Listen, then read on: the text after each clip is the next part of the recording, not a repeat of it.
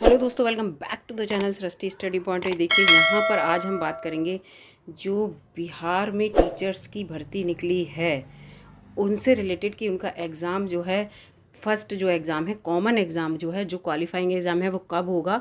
और उसके अलावा जो दूसरे एग्ज़ाम हैं, उनके सब्जेक्टिव एग्ज़ाम, वो कब होंगे? पीआरटी के टीजीटी पीजीटी के, इन सबको लेकर। और परीक्षा में जो व्यवस्था है, वो कैसी रहेगी, सबके बारे में वीडियो अच्छी लगे तो लाइक कीजिएगा, चैनल पर नए हों तो सब्सक्राइब कीजिएगा। ये देखिए लिखा है, शिक्षक भर्ती की परीक्षा में बायोमेट्रिक हाजिरी होगी, यानी कि इसमें धांधली की संभावना जो है ना के बराबर है।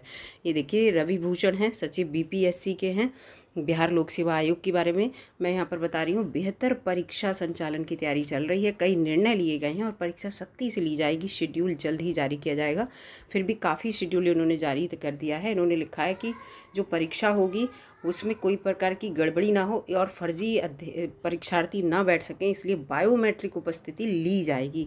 जैसे कि, जो ऑनलाइन एग्ज़ाम होते हैं, सीबीटी बेस्ड, उनमें बायोमेट्रिक होती है। परीक्षा में किसी तरह की गड़बड़ी ना, जो छात्र करेगा, उसे जेल में भेज दिया जाएगा, ये सब लिखा है।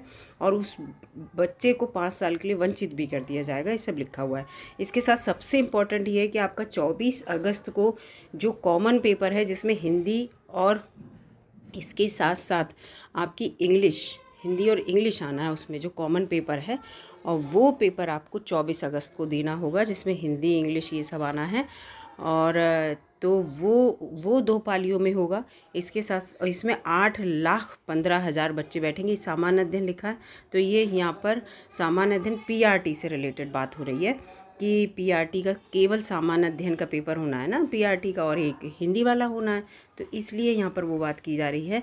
और उसके साथ साथ 25 से 27 ये तो 24 अगस्त को आपको हो जाएगा आपका कॉमन पेपर और 25 से 27 के बीच 25, 26 और 27 तो ऐसा होगा मैं आपको बता रही हूँ 25 को पीआरटी का हो सकता है फिर टीजीटी का 26 को और 27 को हो सकता है जो है पीजीटी वाला इस तरह का है। लेकिन 24 तारीख को आपको कॉमन जो पेपर है आपका जिसमें आपकी हिंदी और इंग्लिश हिंदी और इंग्लिश के क्वेश्चन आएँगे सौ क्वेश्चन आएँगे ना सेवेंटी आएँगे हिंदी के और तीस आएँगे आपके इंग्लिश के क्वेश्चन, सत्तर और तीस से रिलेटेड।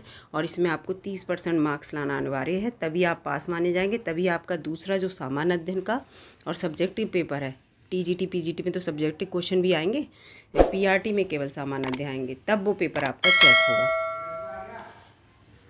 तो यहाँ पर ये सब आपको मैंने बता दिया, और वीडियो अच्छी लगी लाइक कीजिएगा, चैनल पर नए हो तो सब्सक्राइब कीजिएगा।